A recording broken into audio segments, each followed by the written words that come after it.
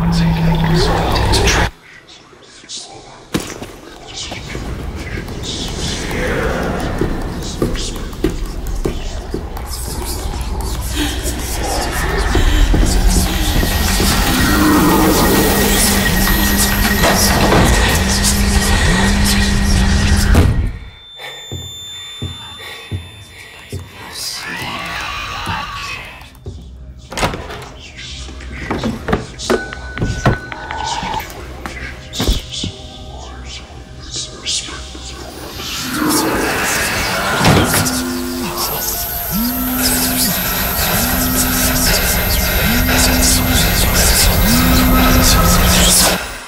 Children can't protect themselves from the dark side of the internet.